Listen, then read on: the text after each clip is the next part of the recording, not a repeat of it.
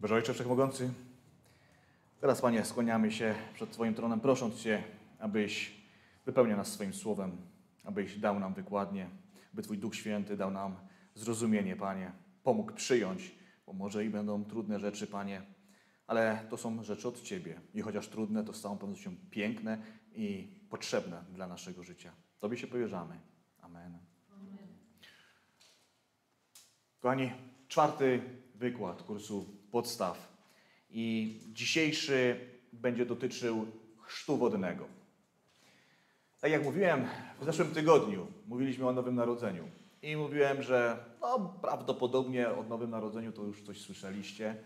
E, Dość temat ostatnio tak, można powiedzieć, wałkowany E, i możliwe, że nikogo nie zaskoczę, aczkolwiek zazwyczaj tak tu bywa, że chociaż znamy, wiemy o tym Nowym Narodzeniu, gdzieś tam słyszeliśmy, to zawsze jest jakieś zaskoczenie, zawsze jest jakiś zgrzyt, ale zgrzyt we mnie, że to jednak to słowo znowu do mnie przyszło i tam mi zgrzyta i to strasznie mi zgrzyta. O chrzcie wodnym można, hmm, po co mówić o chrzcie wodnym? Możliwe, że, że jesteśmy już po tym wydarzeniu, a, a może jednak nie. A może jesteśmy po tym wydarzeniu, ale wiele rzeczy nie wiedzieliśmy. Więc nie bagatelizujmy tego tematu chrztu wodnego. Bo tak to bywa, że chociaż prosty temat, chociaż właściwie początek drogi z Chrystusem, a chrześcijanie to sobie lubią skomplikować nawet taki prosty temat.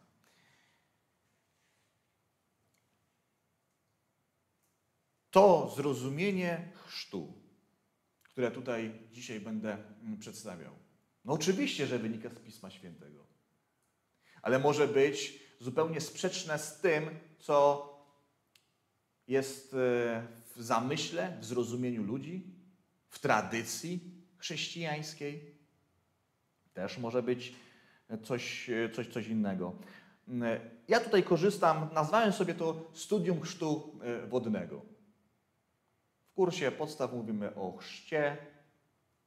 Słowo Boże mówi nawet o chrztach.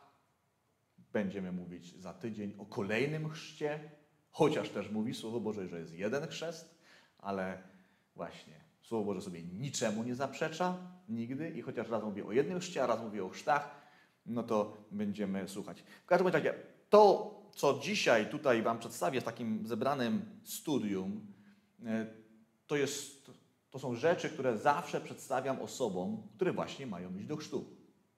Tak, żebyśmy mieli pewność tego, że dobrze rozumiemy, czym jest chrzest wodny, jak powinniśmy go rozumieć. Bo o ile człowiek nawraca się, tak jak mówiliśmy, Bóg jest miłością. Człowiek zgrzeszył. W odpowiedzi na to Bóg dał Jezusa Chrystusa, który pokazuje i sprawiedliwość Bożą, i miłość Bożą. Czyli Jezus Chrystus, który bierze na siebie ten ciężar, ten grzech, zabiera go ze mnie po to, abym ja nie, mógł, nie musiał umrzeć, bo konsekwencją mojego grzechu jest śmierć, odłączenie od Boga, wieczne potępienie, a daje mi życie wieczne. I następnie jest chrzest. I to ludzie wiedzą. Generalnie dość szybko się doradują i mówią, chcą być ochrzczeni. Wiele miałem takich rozmów, ludzie do mnie dzwonili, że chcą być ochrzczeni. Różne były telefony. Raz, żebym ochrzcił dzieci, raz, żebym ochrzcił ich. Przychodzili, żebym ochrzcił. Ja wtedy zawsze mówię, super, nie ma problemu, tak należy robić, z tym, że tak żartobliwie mówię, ja na pierwszym spotkaniu, na pierwszej randce nie chrzczę. Po prostu nie odmawiam nikomu chrztu, ale chciałbym, abyśmy sobie usiedli i zobaczyli, jak ktoś, kto chce chrztu, rozumie ten chrzest, jeżeli w tym wszystkim będzie dobre zrozumienie, oczywiście wyznanie, no to tak, możemy się ochrzcić. Jeżeli nie, to wtedy przedstawiam to, co mówi Pismo Święte na temat właśnie chrztu. Zazwyczaj wtedy no, trzeba się zastanowić nad tym wszystkim, czy ja dobrze to rozumiem, czy przyjmuję. Ale dobra, po kolei. Pierwszy punkt. Dlaczego powinienem zostać ochrzczony? I tak sobie to podzieliłem, że są pytania, na przykład, dlaczego powinienem zostać ochrzczony, ale odpowiem na początku, nie jestem ochrzczony, aby. Czym chrzest nie jest, zanim powiem, czym chrzest jest. Może to pomoże zrozumieć nam pewne rzeczy. Więc ja nie jestem ochrzczony, aby przede wszystkim zadowolić przyjaciół, aby zadowolić rodzinę. No i oczywiście pastora. Nie. Pastor ma być zadowolony, ale na pewno nie chrztem. Więc nie idę, nie chrzczę się, bo pastor będzie zadowolony, może przychylniej na mnie popatrzy. Tutaj w ogóle nie chodzi w chrzcie o aprobatę człowieka. Nieraz zdarza się, że ktoś namawia do chrztu. No i dobrze, że namawia, ale nie możemy ulec temu, że ktoś mnie namawia, dobra, żeby się odczepił. No dobra, zrobię to. Jeżeli nie czujemy tego, że my mamy być ochrzczeni, jeżeli nas Słowo nie porusza, Duch Święty nie porusza, to nie powinniśmy iść do chrztu. Bo chrzest nie jest aprobatą nikogo. Nie powinienem być ochrzczony, ponieważ mój Kościół w to wierzy. Oczywiście ja sobie nie wyobrażam, że ktoś jest w Kościele, że jest członkiem Kościoła i nie jest ochrzczony. Ale do Kościoła przychodzą różni ludzie. Ludzie, którzy wchodzą po raz pierwszy zaciekawieni, może gdzieś usłyszeli, dopiero, może nie mieli co, co robić, tutaj słyszą na, na, na miejscu Ewangelię, dopiero ich coś porusza. Więc oni są fizycznie w budynku, w kościele, pomiędzy kościołem, no ale to nie powinni iść do chrztu, no bo tak wszyscy tutaj są ochrzczeni w kościele, członek kościoła powinien być ochrzczony, to ja też się ochrzczę. Na pewno tak nie powinno wyglądać. Nie powinienem się chrzcić, aby wypełnić jakąkolwiek tradycję lub podążać za jakąkolwiek religijną formą. Bo tak zawsze było, że idzie się do chrztu, że się przynosi nawet do chrztu. Chrzest tym nie jest i nie powinniśmy być w taki sposób chrzczeni. Przyjmuję chrzest. Dlaczego przyjmuję chrzest? Ponieważ Chrystus, Pan Jezus Chrystus, jest moim wzorem do naśladowania. Teraz oczywiście, dlaczego mamy się chrzcić? Będę się posiłkował Słowem Bożym. Ewangelia Mateusza, trzeci rozdział, wersety 13 i do 17. Wtedy przybył do Jana nad Jordan Jezus z Galilei, aby od niego przyjąć chrzest. Jan jednak bronił mu tego, mówiąc: To ja powinienem przyjąć chrzest od ciebie, a ty przychodzisz do mnie? Odpowiadając, Jezus rzekł mu: Zgódź się jednak, bo tak właśnie godzi się nam w pełni wykonać wszystko, co związane ze sprawiedliwością. Wówczas się zgodził. Zaraz po chrzcie wyszedł Jezus z wody i oto otwarły się mu niebiosa i zobaczył Ducha Bożego, jakby gołębice stępującego na niego. I nagle z tych niebios głos zaczął mówić: To jest mój syn umiłowany, w nim złożyłem swoje postanowienie. Więc przyjmuję chrzest, ponieważ Jezus Chrystus jest moim wzorem. Widzimy tutaj, Pan Jezus Chrystus poszedł do chrztu, takiego chrztu wodnego, przez zanurzenie w wodzie. Człowiek, który był bez grzechu. Słusznie powiedział Jan, no, Panie Jezu, no, to Ty mnie powinieneś chrzcić. Ale Pan Jezus wiedział więcej. Wypełniał wolę, pokazywał, co mamy robić. Więc kiedy Pan Jezus, nasz mistrz, nasz Pan, nasz Zbawiciel, nasz nauczyciel tak zrobił, to i my też tak powinniśmy e, robić. Pierwszy list Piotra, drugi rozdział, 21 werset.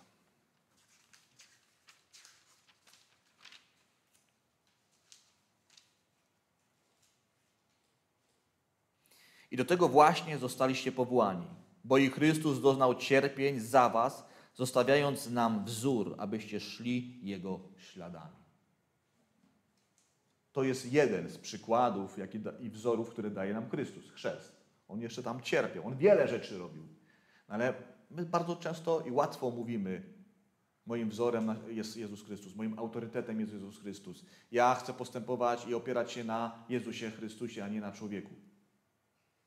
Więc Pan Jezus Chrystus dał nam przykład i powinniśmy iść w Jego ślady.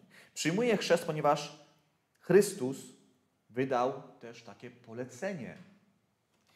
Pan Jezus wydał takie polecenie i oczywiście dość dobrze znany czytelnikom Biblii fragment Ewangelia Mateusza, 28 y, rozdział. 19 i 20 werset. Idźcie zatem i uczyńcie uczniami wszystkie narody, udzielając im chrztu w imię Ojca i Syna i Ducha Świętego. Uczcie ich zachowywać wszystko, co wam nakazałem. A oto ja jestem z wami przez wszystkie dni, aż do okresu doczesności. Trzeba coś więcej powiedzieć. Pan Jezus, jedne z ostatnich Jego słów do uczniów było. Idźcie i chrzcijcie wszystkie narody, wszystkich. W imię Ojca i Syna i Ducha Świętego. I zapamiętajmy sobie, idźcie i chrzcijcie wszystkie narody. W imię Ojca i Syna i Ducha Świętego. Zresztą zaraz to znowu przypomnimy, bo też będziemy mówić o pewnej kwestii właśnie. Więc nie powinienem być chrzczony dlatego, żeby zyskać jakąś aprobatę, bo ktoś mnie zmusza, bo tak jest przyjęte w danym kościele. Nie. Ja się chrzczę dlatego, że naśladuję Pana Jezusa. Świadomie chcę i wykonuję to, co On nakazał. On jest dla mnie wzorem, więc tak postępuję. Dlatego idę do chrztu. Kiedy powinienem zostać ochrzczony? Kiedy to powinno nastąpić? Jak ja powiedziałem, no na pierwszym spotkaniu nie chrzczę, tak? czyli może na drugim. Zaraz po uwierzeniu, przed uwierzeniem, a może trzeba wziąć jakiś okres próbny, odbyć i dopiero się ochrzcić. Kiedy? No to więc odpowiedzmy sobie, ale na początku znowu zaczynając, kiedy nie powinienem być ochrzczony. Zacznijmy od tego, kiedy nie powinniśmy być ochrzczeni. Nie powinienem być ochrzczony zanim przyjąłem Pana Jezusa jako Pana i Zbawiciela do swojego życia. Jeżeli ktoś nie przyjął, to nie powinien być chrzczony. Tu nie chodzi o statystykę, o liczbę, bierzemy wszystkich i chrzcimy jak popadnie, a potem zobaczymy, co z tego będzie. Więc na pewno nie chrzcimy tych, którzy nie przyjęli, nie wyznali, że Pan Jezus Chrystus jest ich Panem i Zbawicielem. Ważne jest Panem i Zbawicielem. Nie tylko Panem. Muszą wiedzieć, że jest też Zbawicielem, ratownikiem, dającym ratunek. Nie powinienem być ochrzczony, kiedy na przykład lepiej będę rozumiał. Dzisiaj wszystkiego nie rozumiem, ale kiedy będę lepiej rozumiał, to wtedy pójdę do, do chrztu. Nie, wtedy też dobrze by było, żebyś nie szedł do chrztu. Nie powinienem być ochrzczony, kiedy czuję, że jestem gotowy. Tu też nie chodzi o Twoje odczucia. Ty sobie możesz czuć różne rzeczy, ale my mówimy o decyzji, a nie odczuciach. Nie powinieneś być ochrzczony, kiedy będziesz, czy też jesteś lepszym chrześcijaninem. Czyli będę się uświęcał, żeby sobie zasłużyć, albo w pewnym momencie, wiecie, no jeszcze mam tam trochę za uszami, więc jeszcze nie, ale kiedy siebie tego się pozbędę, o, wtedy pójdę do chrztu. Nie, wtedy też nie. To też nie jest najlepszy pomysł. Więc kiedy powinienem zostać ochrzczony? Powinienem zostać ochrzczony, kiedy pokutowałem za swój grzech. Kiedy się nawróciłem, inaczej mówiąc. Mówiliśmy o tym, kiedy mówiliśmy o pokucie właśnie, o nawróceniu, upamiętaniu. Więc kiedy się upamiętałem, ale z czego się upamiętałem? Ze swojego, z mojego grzechu. Kiedy upamiętałem się z mojego grzechu, czyli odkryłem, że jestem grzesznym człowiekiem, że to, co do tej pory robiłem, prowadzi mnie na zatracenie i ja tego nie chcę robić. Ja dzisiaj zmieniam swój sposób myślenia na Boży sposób myślenia. Odrzucam to, moje życie, a przyjmuję model, wzór Jezusa Chrystusa. To jest zmiana sposobu myślenia, to jest pokuta. Nie, że coś tam zrobiłem, ale zmieniłem swój sposób myślenia. Więc wtedy powinienem być ochrzczony. Kiedy nawróciłem się, kiedy pokutowałem, kiedy przyjąłem Jezusa Chrystusa za właśnie mojego Pana i Zbawiciela. Pana, bo ja Mu będę służył, ja się Mu podporządkuję we wszystkim. Tak jak panowie kiedyś rządzili, tak dzisiaj będzie mną rządził Pan Jezus Chrystus i mojego Zbawiciela, bo tylko On jest tym ratownikiem, tylko On może mnie uratować. Więc wtedy ja idę, mogę iść do chrztu. I oczywiście ten pierwszy krok, chrzest, jest naprawdę znaczącym doświadczeniem. I to jest też świadectwo, że Jezus Chrystus zmienił moje życie. I znowu Ewangelia Mateusza, trzeci rozdział, piąty i do dziewiątego wersetu. Przychodziła do niego wtedy Jerozolima i cała Judea i cały region Jordanu. Przyjmowali od niego chrzest w wodach Jordanu i wyznawali swoje grzechy. Tu akurat przychodzili do Jana Chrzciciela. Kiedy zobaczył, że do jego chrztu przystępuje wielu faryzeuszów i sadyceuszów, powiedział im, o pomiocie żmii, kto was ostrzegł, aby uciekać od zbliżającego się gniewu? Wydajcie zatem owoc godny nawrócenia. Nie sądźcie, że możecie sobie mówić, Abrahama mamy za ojca. Zapewniam was bowiem, że Bóg potrafi z tych kamieni wzbudzić dzieci Abrahamowi. A, gdzieś tam dalej chyba mam na temat chrztu Janowego i Chrystusowego, bo to też jest e, takie niezrozumiałe. Gdybym czasami o tym nie mówił, to proszę przypomnijcie, żebym wytłumaczył. Ale obu przypadkach, tutaj Jan, chrzciciel, chrzcił je- chrztem Janowym. My dzisiaj chrzcimy się chrztem Chrystusowym, jeżeli chodzi o zanurzenie w wodzie. W obu przypadkach mamy wydawać, to się w ogóle tyczy nawrócenia, pokutowania, owoc godny upamiętania. To nie tylko, że ja powiedziałem. Okej, od dzisiaj będę dobry. Od dzisiaj będę chrześcijaninem. Wydaj ten owoc godny upamiętania. I wtedy dopiero przyjdź. Kiedy powinien jeszcze zostać ochrzczony? Dzieje apostolskie, drugi rozdział 37-38.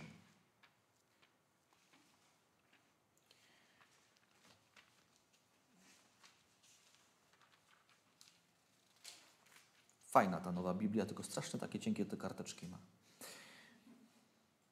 Dzieje apostolskie, drugi rozdział 37-38. Kiedy to usłyszeli, przyje, przejęli się bardzo i rzekli do Piotra i pozostałych apostołów. Co bracia powinniśmy zrobić? Piotr im odpowiedział: Nawróćcie się i niech każdy z was przyjmie chrzest w imię Jezusa Chrystusa dla odpuszczenia waszych grzechów, a otrzymacie dar Ducha Świętego. Więc kiedy powinienem być ochrzczony? Kiedy Ewangelia, którą usłyszałem, przeszyje mnie. Kiedy mnie przeszyje. Kiedy ta dobra nowina pokaże mi, że byłem w złej nowinie. W bardzo złej nowinie byłem. Bo szedłem na śmierć. Tak po ludzku, łopatologicznie, kiedy mnie to wystraszy, ja zrozumiem, że właśnie w moim bardzo najlepszym pomyśle na życie zmierzałem na śmierć, kiedy mnie to przerazi, to wtedy właśnie ja zmieniam swój sposób na tą dobrą nowinę, którą usłyszałem. Okazuje się, że miał ktoś lepszy pomysł ode mnie. No i to jest bardzo ciężkie dla ludzi. No jak mogą mieć lepszy pomysł ode mnie? No ale to Bóg. No ja wiem, no ale przecież ja też głupi nie jestem, no nie? No nie, głupi jesteś. Masz się nawrócić na pomysł Boży. A potem masz iść właśnie do chrztu. Dzieje apostolskie, 8 rozdział, 36 do 38 wersetu. A gdy dalej tą drogą jechali, przybyli do wody. Eunuch powiedział, oto woda. Co przeszkadza, bym przyjął e, chrzest? Odpowiedział mu Filip, jeśli wierzysz z całego serca swojego, możesz. A on rzekł, wierzę, że Synem Bożym jest Jezus Chrystus. I kazał zatrzymać rydwan, weszli obaj do wody, Filip i Eunuch i ochrzcił go. Eunuch dowiedział się o dobrej nowinie i przyjął to i wyznaje. Filip się pyta, no dobra, rozumiesz o czym gadaliśmy, bo wcześniej nie rozumiałeś, bo nie miał ci kto wytłumaczyć, ja ci wytłumaczyłem. Teraz rozumiesz? Tak, rozumiem, że Jezus Chrystus jest Zbawicielem, jedynym ratunkiem. Okej, możesz się wtedy ochrzcić. Więc chrzcimy się zaraz po naszym wyznaniu mm, e, wiary i oczywiście, kiedy mamy okazję, bo czasami bywa tak, że, no, że też nie ma okazji, albo inaczej, możliwości. Eunuch zatrzymał się, bo była woda, a jechali po pustyni. No wiecie, na pustyni zazwyczaj nie ma wody. No więc mógł uwierzyć, wyznać wszystko, ale gdyby nie było wody, to i tak by nie było chrztu. Na szczęście była, mm, był ten chrzest. I popatrzcie się, powrócę do tego fragmentu, gdzie apostoł Piotr zwiastował ludziom, którzy się przerazili do głębi. Co mają robić? No i oni uwierzyli. Ci więc, którzy przyjęli jego naukę, dali się ochrzcić. Tego dnia przystało do nich około 3000 osób. Więc oczywiście, mówię, nie chrzczę na pierwszym spotkaniu, no ale ci chrzcili. No oczywiście, kiedy mówię, ktoś wyzna to wszystko, nie ma problemu. Ale to nie jest tak, że ja chcę być ochrzczony, a ty jesteś pastorem, to musisz mnie ochrzcić. No nie. No nie. Musimy sobie porozmawiać pierw, a dopiero potem będziemy się chrzcili. E, I jeszcze dzieje apostolskie, 9 rozdział, 17 i 18 werset.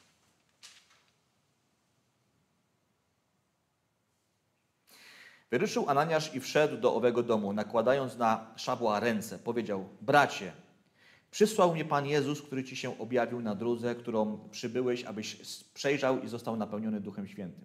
Zaraz spadły z jego oczu jakby łupiny i odzyskał wzrok. Podniósł się i przyjął chrzest. Tu też mamy piękny przykład właśnie Szawła, który później znany jest nam jako apostoł Paweł. On spotkał się z Jezusem. Jezus go dotknął, ale w tym przypadku jeszcze Pan Jezus wtedy mu nie powiedział Ewangelii. Przysłał Ananiasza, Ananiasz mu to wszystko wyłożył, on uwierzył i, i został ochrzczony. Więc kochani, nie za szybko, czyli nie, o ja wiem wszystko i będę się chrzcił. Ważne jest też, kto cię chrzci. No, żeby to była osoba, wiecie, bo są gdzieś też nauki, i to spora, oso, spora liczba osób w to wierzy, że ten, kto chrzci, nie jest ważny. Nieważne, czy on popełnia grzech, jest w grzechu, czy nie. On jest kapłanem Boga i on rozkazuje nawet Chrystusowi. Więc on też może cię chrzcić.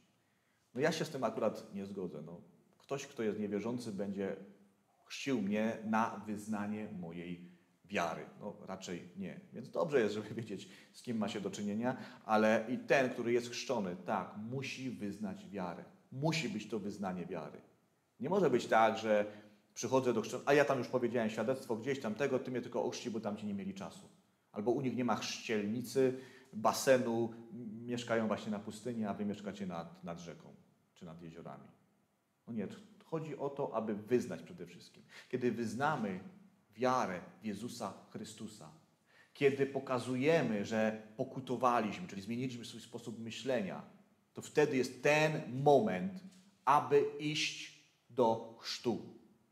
Kochani, to też jest ważne, abyśmy nie zwlekali z tym chrztem. Wiele osób jest tak, ale wiecie, ja się jeszcze zastanowię. No niby tu wszystko wyznał, tylko ja się jeszcze zastanowię. Albo wiesz, bo co inni powiedzą? Albo rodzina, co moja powie? To już powiedzieliśmy. Ty nie szukaj aprobaty, ani złej, ani dobrej. Co powie Twoja rodzina? No może powie chwała Bogu, może to będzie dla nich jakieś świadectwo, może oczywiście, rzeczywiście powie sekta jakaś, po co będziesz takie robił rzeczy, ceregiery XXI wiek mam, a nie średniowiecze. Może też tak być.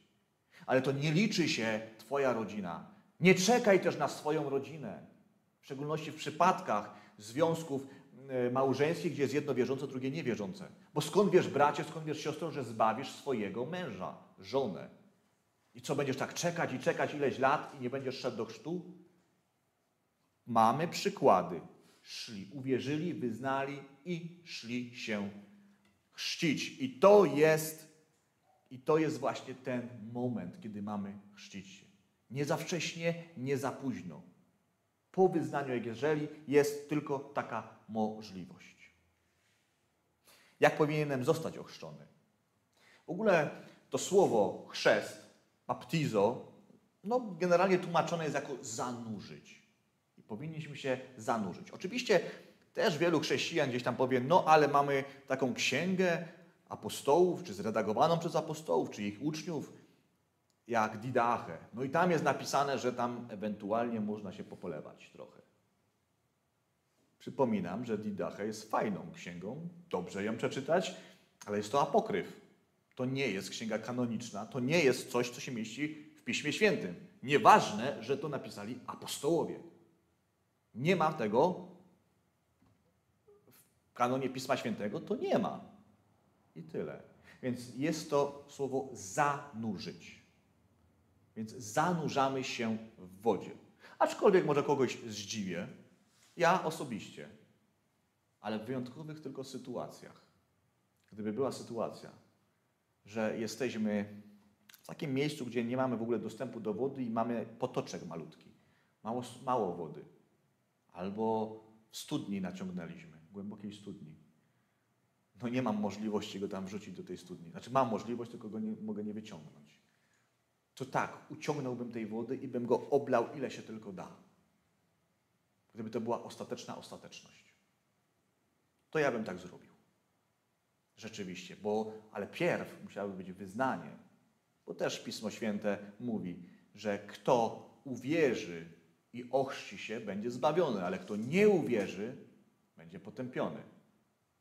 Czyli widzimy, dalej to powiemy, chrzest nie zbawia. Więc ewentualna, ale to naprawdę jest jakoś wyjątkowo. Ale jeżeli ktoś by przyszedł i powiedział, słuchaj, bo chciałbym się ochrzcić, mam takie pragnienie, tylko słyszałem, że ty polewasz, możesz polać, a ja nie chciałbym być zanurzony. Ale czemu? Bo wiesz, uszy mi się zatykają i tak dalej. No, no nie, no. Nie róbmy sobie jaj. Po prostu nie róbmy sobie z tego żartów. Więc jeżeli ktoś ma jakieś pragnienia, nie, nie, nie. Albo ty idziesz. Mamy tutaj, byliśmy niedawno z żoną na mm, bulwarach naszych powstających nad Sanem. Jest piękne miejsce, naprawdę powstaje. Wszedłem sam do wody, znaczy patrzyłem na tą wodę, czyściutka, piękna, płytka była. Będzie tam chrztu od groma i trochę. My to mamy gdzie. Ustawimy na wszelki wypadek tam kilka metrów dalej, gdyby kogoś porwało, żeby go jednak chycił. Ale to ma być przez zanurzenie, bo to też coś, coś świadczy. Przede wszystkim Pan Jezus został ochrzczony przez zanurzenie. Czytaliśmy, tak? Mateusza 3,16. Przyszedł do Jana, nie będziemy tego znowu czytać, i ochrzcił go w wodach. Zanurzył po prostu. Zanurzenie też najwyraźniej symbolizuje śmierć starego życia i początek nowego. I tutaj pozwolę sobie przeczytać fragment z listu do Rzymian, szósty rozdział, który co prawda wiele osób czyta, kiedy dochodzi do chrztu wodnego, chociaż on mówi o chrzcie w Duchu Świętym, ale tu są pewne słowa, które właśnie pokazują, co ma też symbolizować chrzest wodny. Rzymian 6, trzeci i czwarty rozdział. Czy nie wiecie, że wszyscy zanurzeni przez chrzest Chrystusa Jezusa w śmierć Jego zostaliśmy zanurzeni? Razem z Nim także zostaliśmy pogrzebani przez zanurzenie w śmierć, abyśmy i my weszli do nowego życia, tak jak Chrystus dzięki chwale Ojca zmartwychwstał.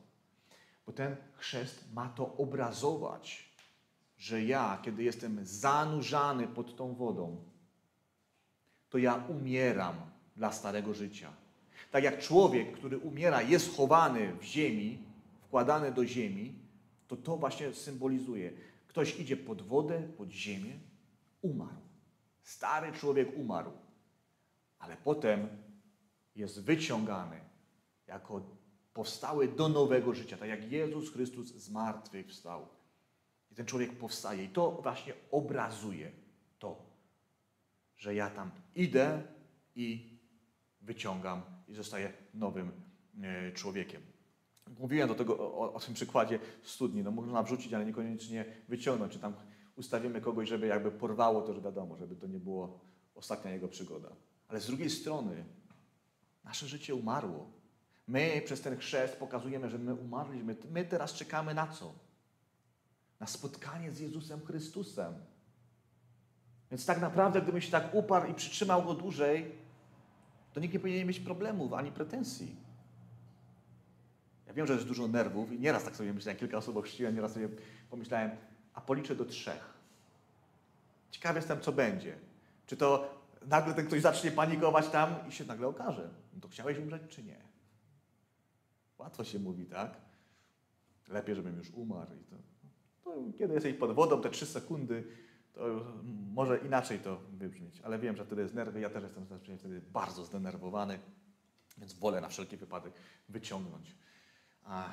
Ale to tak powinno pokazywać. My się zanurzamy jako śmierć, jako pogrzebani. Ja wiem, że dzisiaj się też spala ludzi i tak dalej, ale w tradycji hebrajskiej było tak, że umarli byli w całości chowani, albo w skałach, albo też zakopywani, a spalani byli poganie. Więc ktoś, kto, kto korzysta z krematorium, pogański zwyczaj. Ale nie, to nie znaczy, że chrześcijanie nie mogą się spalać, albo chrześcijanie spaleni zostali poganami. To nie, przynajmniej ja tak nie uznaję. Dobra. A może powiem o tym chrzcie jeszcze teraz, żeby nie zapomnieć. Janowy. Mamy tutaj Jana Chrzciciela, który przychodził i, mm, i chrzcił ludzi. W ogóle w Izraelu no, znano chrzest, wiedziano o czym o, o chrzcie, mm, obmywaniach, bo to chrzest też inaczej znaczy obmywanie. I tam nieraz czytamy, że przeszli przez Morze Czerwone, obraz chrztu, arka, obraz chrztu, ale kiedy mm, przychodzili do Jana, przyjmowali od niego chrzest w wodach Jordanu i wyznawali swoje grzechy. I chrzest Janowy czym się różni od chrztu, chrztu Chrystusowego, bo możliwe, że to właśnie słyszeliście. Więc Jan Chrzciciel chrzcił chrztem Janowym, e, ponieważ jesteśmy, chociaż czytamy Nowy Testament w Starym Przymierzu. Przychodzili do niego Żydzi, wyznawali swoje grzechy, on ich chrzcił na właśnie takie oczyszczenie, obmycie. Ale ci ludzie musieli dalej iść do świątyni i złożyć ofiary. Mają pełno przykazów, gdyby któryś tam przypadkiem zgrzeszył. Tylko zauważcie, są ofiary dla Boga jakieś tam z pewnych płodów, a jeżeli chodzi mm, o, o grzech, to nie jest tak, że o, ja sobie zgrzeszyłem, a potem sobie pójdę baranka zabiję i, i dam. Nie. Tam było odnośnie grzechu, ofiary przebłagania za grzechy, gdyby się zdarzyło komuś. To nie tak, że ja sobie mogę zgrzeszyć, a potem przyniosę baranka i okej, okay, mamy kwita z Bogiem. Nie. Gdyby się przez przypadek komuś zdarzyło zgrzeszyć, to on musiał przynieść tego baranka, czy tam, wiecie, pełno tych ofiar tam mieli. I ci ludzie, którzy przychodzili do Jana, oni dalej wyznali te grzechy i oni musieli iść do świątyni i złożyć tą ofiarę. Dlaczego? No bo Pan Jezus jeszcze nie umarł na krzyżu. Jeszcze prawo obowiązywało. Natomiast jeżeli chodzi, mówimy o chrzcie Chrystusowym, no bardzo podobny w formie, znaczy jak się widzi z zewnątrz, to można powiedzieć, nie wiadomo, czy on chrzci Janowym, czy Chrystusowym. Ale w chrzcie Chrystusowym chodzi o to, że on jest chrztem na wyznanie wiary. Czyli ja wyznaję wiarę, to co mówiliśmy, w Jezusa Chrystusa, że jest moim Panem i Zbawicielem, że On jest jedynym ratunkiem i że krew Jezusa Chrystusa zmazała moje grzechy. Więc ja wyznaję te grzechy, ale wyznajesz wiarę w to, co się dokonało na krzyżu, to, co się dokonało przez zmartwychwstanie. I to jest chrzest Chrystusowy, chociaż on wygląda tak jak Janowy. Tylko, że tamci wyznali grzechy, zostali obmyci, poszli składać ofiary. My dzisiaj nie składamy żadnych ofiar, nie musimy. Przede wszystkim też nie mamy gdzie, ale nie, może nie przede wszystkim, nie mamy gdzie, ale przede wszystkim, bo Jezus Chrystus umarł za nasze grzechy. Jego krew oczyściła mnie, więc ja to wyznaję. I tym to się różni. Żebyśmy też wiedzieli, bo wiele osób nie wie. No to się jednak różni. Przynajmniej w zrozumieniu tego i wyznaniu, nie co do formy. Dobra, i kolejna kwestia też, często niezrozumiała. Z jakiego upoważnienia powinienem zostać ochrzczony? Z jakiego upoważnienia? No i czytaliśmy to, ale to jeszcze do tego powrócę. Mateusza 28, 19 i 20 werset. Idźcie zatem i uczyńcie uczniami wszystkie narody, udzielając im chrztu w imię Ojca i Syna i Ducha Świętego. Uczcie ich zachować wszystko, co wam nakazałem, a oto ja jestem z wami przez wszystkie dni, aż do kresu doczesności. Więc Pan Jezus nakazał, z jakiego upoważnienia, w jakim autorytecie chrzcić. W imię Ojca i Syna i Ducha Świętego. Tak chrzcimy tutaj w tym kościele. Tak ja chrzczę i tak nakazał Pan Jezus. Dlaczego? Dlaczego w imię Ojca? Bo Ojciec był tym, który wyraził swoją aprobatę podczas chrztu swojego Syna. Czytaliśmy to, tak? Mateusza 3,17. Pan Jezus został ochrzczony Jan zobaczył stępującego ducha niczym gołębica, czy jakby gołębica, i nagle z tych niebios głos zaczął mówić: To jest mój syn umiłowany, w nim złożyłem swoje postanowienie. Więc dlatego w imię Ojca, dlatego że Ojciec wyraził aprobatę i ma wyrażać aprobatę, to Ojciec przyprowadza mnie do Chrystusa. W imię Syna, bo On jest tym, którego ofiara za nasze grzechy umożliwia nam nowe życie. Znowu Mateusza, pierwszy rozdział, 21 werset. Urodzi syna i nazwiesz go imieniem Jezus, bo on wybawi swój lud z ich grzechów. Dlatego chrzcimy się w imię syna Jezusa Chrystusa, bo on jest tym, który właśnie wybawi, uratuje swój lud od grzechów ich. Umożliwi nam też nowe życie. To wyznajemy. Ten chrzest jest na wyznanie wiary. My to wyznajemy. Że stare przeminęło, wszystko staje się nowe. W imię Ducha Świętego. Dlaczego? Przede wszystkim, bo jest Bogiem. I On jest tym, który, którego moc przynosi dzieło odrodzenie, odrodzenia i odnowy w nas. List do Tytusa, trzeci rozdział, piąty werset. Zbawił nas nie z powodu spełnionych przez nas uczynków zgodnych ze sprawiedliwością, lecz dzięki swojemu miłosierdziu przez kąpiel powtórnego narodzenia i odnowy Ducha Świętego. Więc chrzcimy w imię Ojca, Syna i Ducha Świętego. Te trzy osoby jednego Boga mają być w tym wszystkim obecne mają być w tym wszystkim wyznane. Ojciec przyprowadził mnie do Syna, On wyraża aprobatę, przez Jezusa Chrystusa dostaję nowe życie i zmazanie wszelkich grzechów, a Duch Święty daje mi moc do dzieła odrodzenia, abym stał się tym nowym człowiekiem, abym umiał umrzeć, dołożył wszelkich starań do zabicia starego człowieka i do odnowy w nowym człowieku. Dlatego jest to w imię Ojca i Syna i Ducha e, Świętego. No i pewnie gdzieś słyszeliście o chrzcie w imię Jezusa Chrystusa.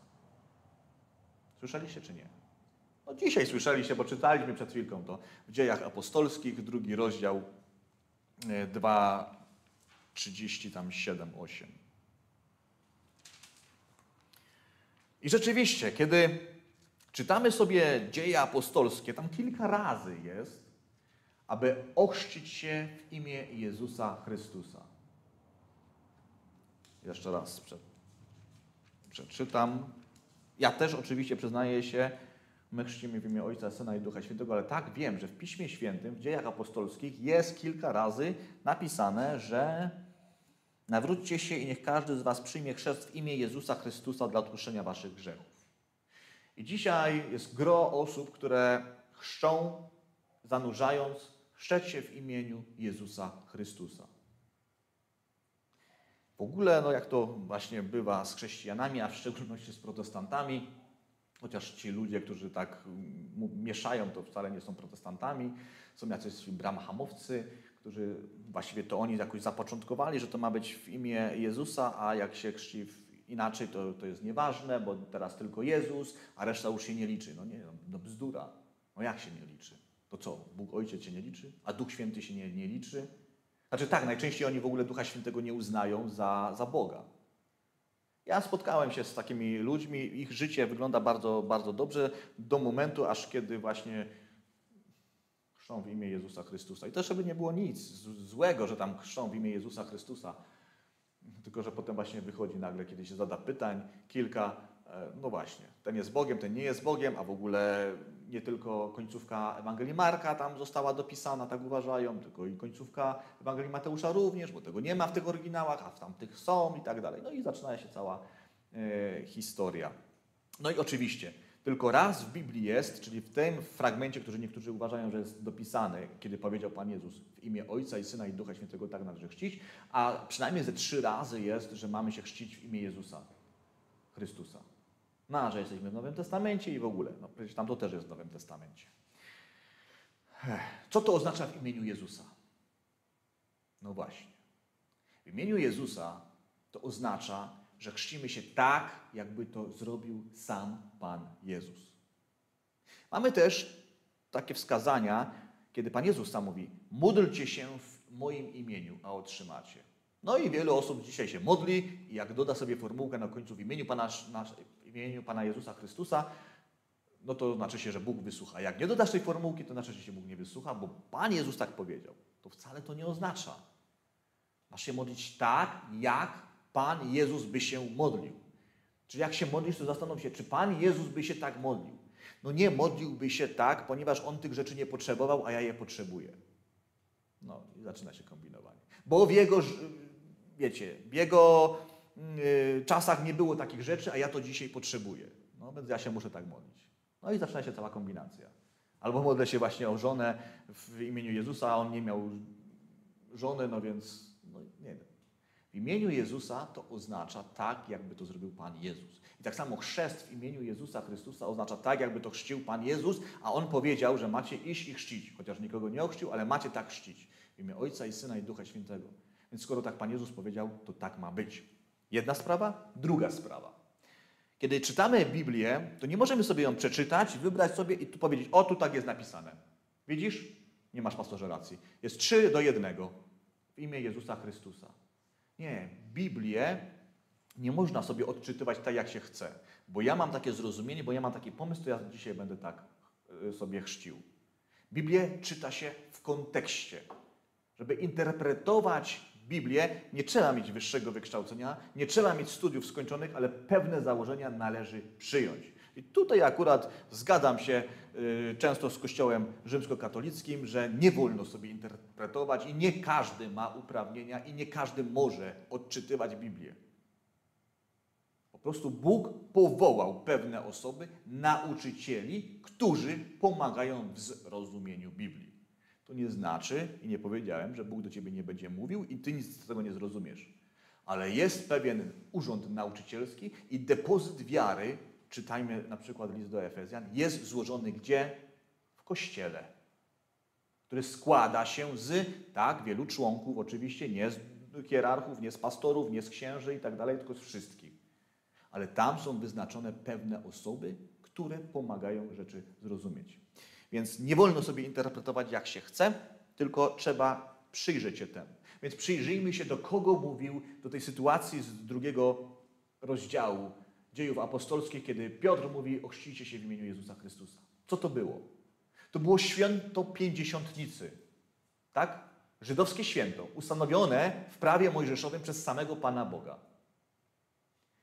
I co? Kto tam przyszedł na to święto? No przyszli Żydzi, zaskoczenie. Co prawda przyszli z różnych miejsc, tam są wyznaczone, spoza Jerozolimy. Dlaczego? Dlatego, że kiedy była e, niewola babilońska, nie wszyscy powrócili, ale niektórzy pozostali. Porozpraszali się, ale byli to Żydzi i mieli obowiązek tam trzy razy przyjść do roku do świątyni. Więc oni przychodzili z daleka. Więc byli to Żydzi. I to jest bardzo ważne, że apostoł Piotr wtedy mówi do Żydów. Dlaczego to jest ważne? Bo Żydzi nie mieli problemu z tym, aby uznać, że Bóg Ojciec jest Bogiem. I bardzo często nazywali Boga Ojcem. I oni wiedzieli, że jest Bóg Ojciec. I co oni jeszcze wiedzieli? Oni też wiedzieli, że jest Duch Święty. Inaczej zwany Duchem Bożym. Bo jak czytali swoją Torę, to mieli tam na początku napisane Elohim. Czyli oni nawet wiedzieli, że są bogowie stworzył. Oni wiedzieli o tym zapisie. Bogowie stworzył i wiedzieli, że ten, te bogowie to jest jeden Bóg, który składa się z trzech osób. Oni doskonale wiedzieli o Ojcu, oni doskonale wiedzieli o Duchu Świętym, o Duchu Bożym, ponieważ On co? Stąpował na różnych proroków. I tutaj znowu niektórych zaskoczę, bo wiele osób mówi tak, ale to w nas dopiero mieszka Duch Święty. W Starym Testamencie w wybranych ludziach też mieszkał. W nich był Duch Święty. Nie tylko nad nimi, nie tylko wokół nich, był w nich. Nie wierzycie? Wierzycie. A jak nie wierzycie, to sprawdźcie. Na przykład Księgę Ezechiela, no i tutaj Jana Chrzciciela też. W nim był Duch Święty i jego Duch Święty wypełniał. Oni doskonale o tym wiedzieli. Więc i wiedzieli też, że przyjdzie ktoś taki jak Mesjasz. inaczej Chrystus. I wiedzieli, że On będzie od Boga. On będzie synem Bożym. Oni to wiedzieli. Ale tutaj ci Żydzi nie rozpoznali w Jezusie Chrystusa. Więc apostoł Piotr mówi to kazanie i nie musi im mówić o Bogu, nie wiadomo co. On im mówi o Jezusie. Ten Jezus przyszedł, a wyście naszego Mesjasza zamordowali. I słuchajcie, oni się przerazili.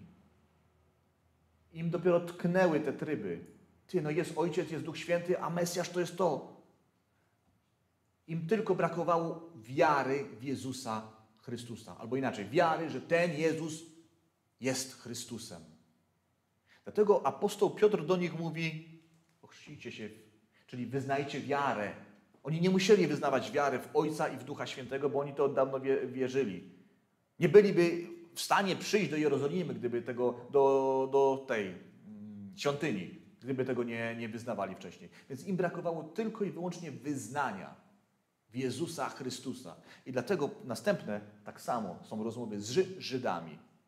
Dlatego jest mowa, uwierzcie w Jezusa Chrystusa, ochrzcijcie się w Jezusa Chrystusa, wyznajcie wiarę w Jezusa Chrystusa. Proste? Nie zaprzecza sobie? Ja wiem, aleś sobie to wymyślił tak dalej, będą tam szukać. A, to nic. Do tych nie mówię w ogóle. Więc mamy chrzest w imię Ojca i Syna i Ducha Świętego. O, jeszcze mam przypadek taki, znam, sam byłem na takich chrztach, ktoś chrzcił w imię Ojca i Syna i Ducha Świętego w imieniu Jezus. Na wszelki wypadek, żeby się nikt nie czepiał. Nie no, jeżeli ty boisz się, że się będą czepiać ciebie, ale to w ogóle było widać, yy, ja wskazywałem, mówię, tak się nie powinno chrzcić. Albo tak, albo tak, no już wybierz sobie. To było widać, że człowiek nie rozumie po prostu tego chrztu i, i o, żeby się nikt go nie czepiał. No, z ludzi może się go nikt nie będzie czepiał, chociaż ja się czepiałem, no ale wiadomo, ja się czepiam wszystkiego. Bóg się będzie czepiał. Bo chłopie, bierzesz się do czegoś, czego nie rozumiesz. Tak samo jak są ci, którzy krzczą w imię Jezusa, bo tak jest na przykład. Nie rozumiesz, po co to się bierzesz do tego. Jak nie rozumiesz, to się nie bierz do chrztu. Zostaw to komuś innemu. Co powinien dla mnie oznaczać chrzest? I znowu, co nie powinien oznaczać na początek. Przede wszystkim chrzest nie jest żadnym dowodem nawrócenia ostatecznego i nie jest e, dowodem nowonarodzenia.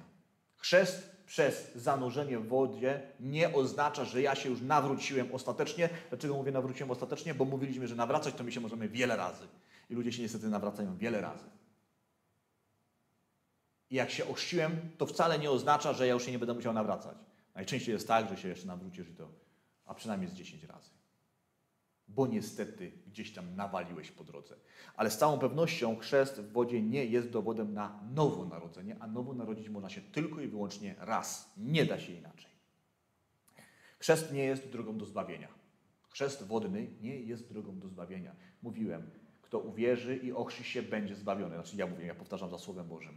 Ale kto nie uwierzy, będzie potępiony. Tam nie ma nic w ogóle o mowy o chrzcie. Więc chrzest nie jest drogą do zbawienia, nie jest żadnym biletem do nieba. Co z tego, że się człowiek ochrzcił w wodzie, to nie jest pewne, że ty pójdziesz do nieba. To ci nie daje gwarancji. Przypomnij nam też Łotra na krzyżu, który się nie ochrzcił, wyznał wiarę, a Jezus mu powiedział, będziesz ze mną w raju. Chrzest to. Chrzest to jest krok wiary. Przede wszystkim. Chrzest to jest krok wiary. Jakiej wiary? Pierwszy list do Koryntian, 1 e, do 14. E, pierwszy list do Koryntian, 15 rozdział od 1 do 14. Przypominam wam, bracia, Ewangelię, którą wam ogłosiłem i którą przyjęliście i w której trwacie, i dzięki której dostępujecie zbawienia, jeśli trzymacie się mocno właśnie tej nauki, którą wam ogłosiłem w Ewangelii, chyba że bezmyślnie uwierzyliście. Otóż w pierwszych naukach przekazałem wam, co również ja otrzymałem, że zgodnie z Pismem Chrystus umarł za nasze grzechy i że został pogrzebany i że zgodnie z Pismem trzeciego dnia zmartwychwstał. To jest ten krok wiary. Bo tutaj jest Ewangelia. Czyli mój krok wiary w odpowiedzi na to, co tutaj usłyszeliśmy. Na Ewangelię. Że Jezus Chrystus umarł za mój grzech i zmartwychwstał trzeciego dnia, tak jak oznajmia to wszystko Pismo. Więc to jest ten krok wiary. Więc chrzcie wyrażam swoją wiarę. Wierzę, że Jezus umarł za mnie. Nie za kogoś innego, tylko za mnie. Że zbawił mnie z moich grzechów. Chrzest to krok posłuszeństwa. Jana 14, Ewangelia Jana, 14 rozdział, 15 werset. Jeśli mnie będziecie miłować, zachowywać, yy, jeśli mnie będziecie miłować, zachowacie moje przykazania. Krok posłuszeństwa Pan Jezus nakazał chrzest, to jest to krok posłuszeństwa. Krok również zaangażowania. Chrzcie mówię przed Bogiem, współwyznawcami i całym światem, że doskonałym, że dokonałem tego wyboru, że moje życie dzisiaj jest oddane e, Bogu. Ewangelia Marka, ósmy rozdział, 34 werset. Przywoławszy tłum razem z uczniami, powiedział im: Jeśli kto chce iść za mną, niech się wyprze sam, samego siebie, niech weźmie swój krzyż i niech idzie mnie naśladować. Więc jest to zaangażowanie przed Bogiem i współwyznawcami. I to jest też ważne, że chrzest powinien być, znaczy jest symbolem, bardzo ważnym symbolem, właściwie jest obrazem tego, co my wyznajemy, i on powinien być publicznie zrobiony. Tak, żeby inni ludzie widzieli, że ja deklaruję, nie wstydzę się tego, bo też jest inny fragment, że jeżeli ktoś będzie wstydził się moich słów mnie przed ludźmi, wtedy ja będę się wstydził, tak? Mateusza, mm, Ewangelia Mateusza, 10 rozdział. Więc ja idę i pokazuję. Wiele osób, a wiesz, może gdzieś tutaj w baptysterium, może gdzieś tam, wiesz, żeby nikt nie widział. To powinno być. Oczywiście nie zawsze jest to możliwe, ale to powinno być jak najbardziej w publicznym miejscu. Właśnie w jakiejś rzece, gdzieś jezioro. My, kiedy chrzciliśmy w, w Anglii, byliśmy nad rzeką w Peterborough. A przy tej, tam był taki um, stary most zabytkowy. I tam ludzie chodzili sobie na spacery. Wiecie, ile tam było ludzi na tym moście, ile oni się pytali, o co chodzi? Co się tam dzieje? I ludzie im tłumaczyli. Powiem wam, że mąż, e, niewierzący mąż e, naszej siostry tłumaczył, Anglikom. Ale dobrze im wytłumaczył. Tak jak należy. Niewierzący człowiek im dobrze wytłumaczył. To jest niesamowite, jak Bóg potrafi używać ludzi. I oni się wszyscy gapili i to była świetna ewangelizacja. I zaświadczaliśmy o tym, a ci ludzie zaświadczali przede wszystkim o wyznaniu wiary. A inne sytuacje mieliśmy, e, to było akurat październik, było zimno, ciężko było iść do tej e, rzeki, to na boisku szkolnym rozłożyliśmy taki dmuchany basen. Nalaliśmy taki większy, do niego wody i co? Boisko szkolne, ale to boisko szkolne dookoła było w osiedlu. Tam było domów, pełno dookoła było domów. I chrzciliśmy, też tam była zimna woda, ale chrzciliśmy w tym basenie. Wiecie, ile ludzi w oknach stało, w ogóle zatrzymywało się przy płocie, robiło zdjęcia? Już wam nie będę mówił, co oni się pytali potem, bo to już niecenzuralnie nawet było, ale można było zaświadczyć. Właśnie, nie wstydziliśmy się. Zrobiliśmy na całe wielkie osiedle, polskie osiedle w Anglii, niesamowita rzecz. Ludzie mogli zobaczyć i zacząć e, zaświadować. Tak, bo chrzest to jest też publiczne właśnie świadectwo. Powiedziałem tak Chrystusowi, nie grzechowi oraz e, diabłu. Co zrobi dla mnie chrzest? Aha, no rozumiem, że są czasami były takie sytuacje, jak był COVID, mm, zamykali się, nie wiadomo co. No tak, czasami się zdarza sytuacja, że trzeba było kogoś ochrzcić w wannie. No nie było żadnej możliwości nigdzie, bo tam gonili, zanim doszło się do rzeki, to już tam wlepiali mandaty.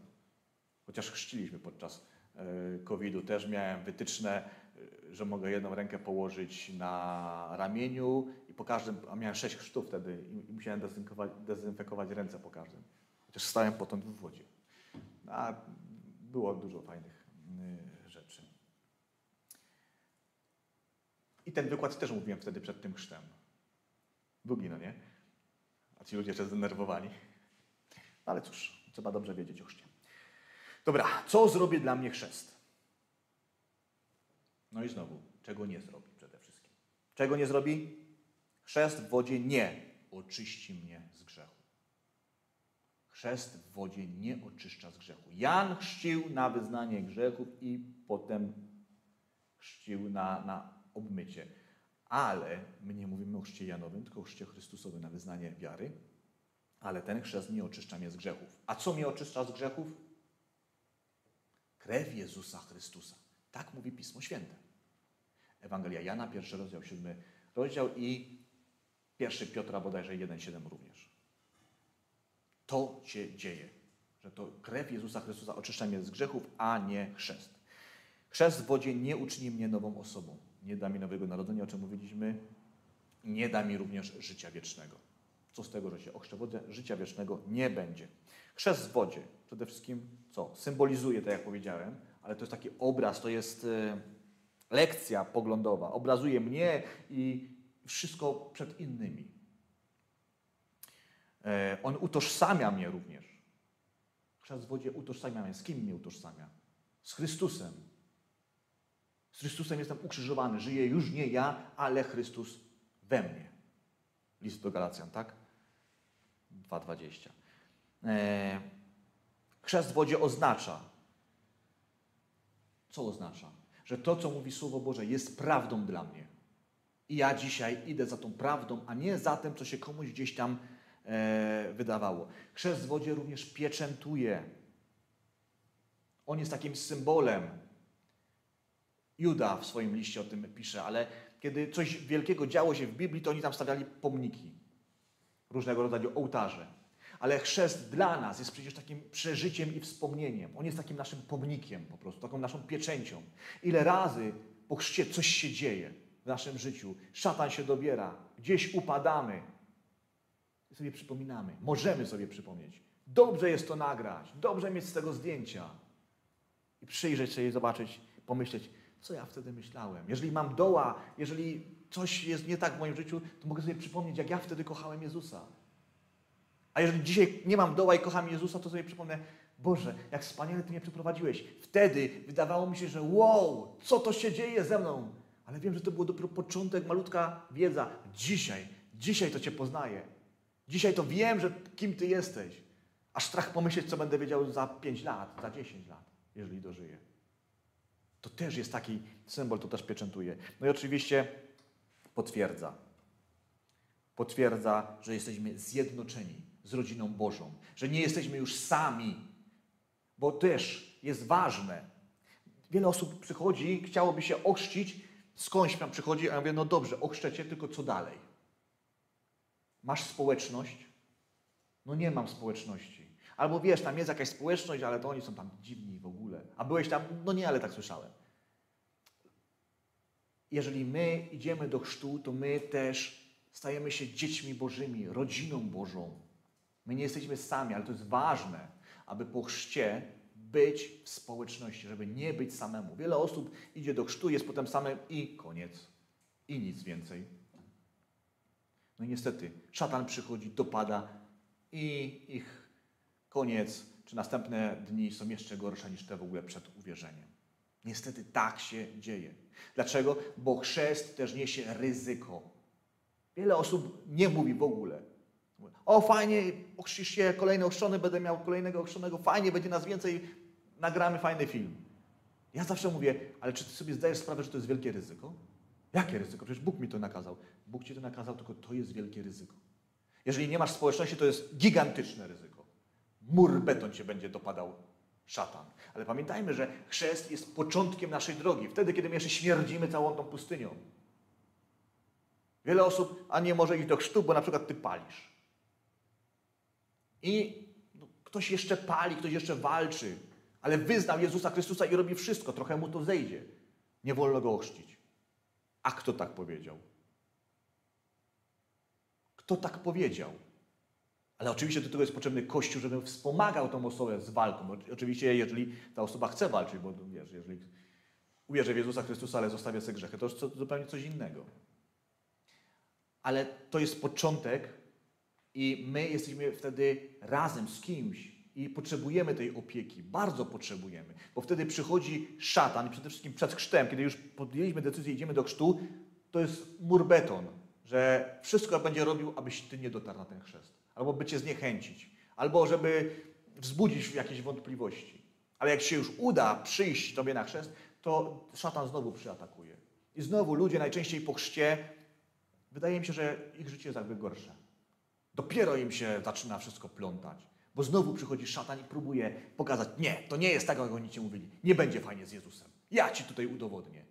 Bardzo często ludzie mają koszmary senne. Naprawdę tak, takie koszmary, że nawiedza ich szatan. Po to, aby tylko i wyłącznie wystraszyć. Kiedy człowiek jest sam, on tego nie rozumie. I on ucieka, bo wcześniej tak nie było. A te koszmary są naprawdę straszne. Mówię to z doświadczenia, mówię to z tego, co rozmawiam z ludźmi. To jest schemat mur beton. Kiedy jesteś w kościele, ktoś ci pomoże. Wytłumaczy przede wszystkim, nie bój się. Musisz to przetrwać, będziemy się modlić. Zobaczysz, szatan ustąpi. Więc jest wielkie ryzyko związane z chrztem. Ale to nie znaczy, że my nie mamy podjąć tego ryzyka. A wręcz inaczej, mamy podjąć. Ale kochani, przede wszystkim po tym jesteśmy ochrzczeni, mamy być włączeni w Kościół. Szukajmy tego Kościoła. Gdzieś się tam Bóg dotyka przez internet, słyszysz, nie masz, szukaj. Dołóż starań. Tak niejednokrotnie będziesz musiał wziąć, sprzedać wszystko i przeprowadzić się. Weź to pod uwagę. Ojcowiznę i wszystko dalej. Tak stare drzewo będzie musiało przejść. Tylko albo ty chcesz być z Jezusem, albo chcesz, żeby cię szatan dopadł. Bo mnie przynajmniej Słowo Boże poucza, że Kościoła to szatan nie przemoże. Nic mu nie zrobi. Ale nigdzie nie jest napisane, że o pojedynczym człowieku, który jest sam osamotniony. Wykończy cię szatan. Musisz sobie z tego zdać sprawę, ja to zawsze mówię. Oczywiście ciężko, żeby kogoś wtedy wystraszyć. Oni są wszyscy gotowi do momentu, kiedy właśnie. Tacy pewni siebie, no. Ale ostrzegałem, mówiłem. Kochani, chrzest wodny. To przede wszystkim pamiętajmy, to jest w ogóle początek drogi z Jezusem Chrystusem. To jest część właściwie ewangelizacji dopiero. Bo dopiero ta przygoda po chrzcie z Jezusem Chrystusem zacznie się. I inny chrzest, na który powinien być od razu, ale no niestety zazwyczaj trzeba trochę poczekać. Czyli chrzest w Duchu Świętym, ale o tym, o tym będę mówił, jak Bóg pozwoli, za tydzień.